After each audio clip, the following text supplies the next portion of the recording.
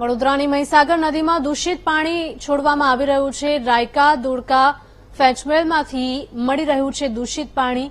ત્યારે છ લાખ નાગરિકોને છેલ્લા ત્રણ દિવસથી મળે છે દૂષિત પાણી. કોર્પોરેશનના વિપક્ષ નેતા અમીબેન રાવતે પત્ર લખ્યો મુખ્યમંત્રી જીપીસીબી ચેરમેન અને મ્યુનિસિપલ કમિશનરને પત્ર લખ્યો. દૂષિત પાણીના સેમ્પલ મામલે જીપીસીબી અધિકારી જે એમ મહિડાનું નિવેદન સામે આવ્યું. તેમણે કહ્યું કે કોર્પોરેશનની ટીમ સાથે પાણી સપ્લાય થતી દરેક જગ્યાએ મુલાકાત કરાશે. પાણીની જે સમસ્યા આવી છે, એ બાબતે મને ગઈકાલે રાત્રે જ કમિશનર સાહેબે મેસેજ કરીને જણાવેલું છે.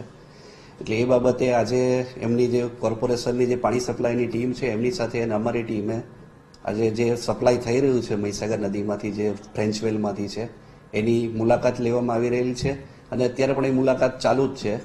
અને મહીસાગર નદીમાંથી વિવિધ જગ્યાએથી પાણીના નમૂના પણ એનાલિસિસ માટે એકત્રિત કરવામાં આવી રહેલા છે. એટલે જે એનું એનાલિસિસ થશે, પછી જ ખ્યાલ આવી શકશે.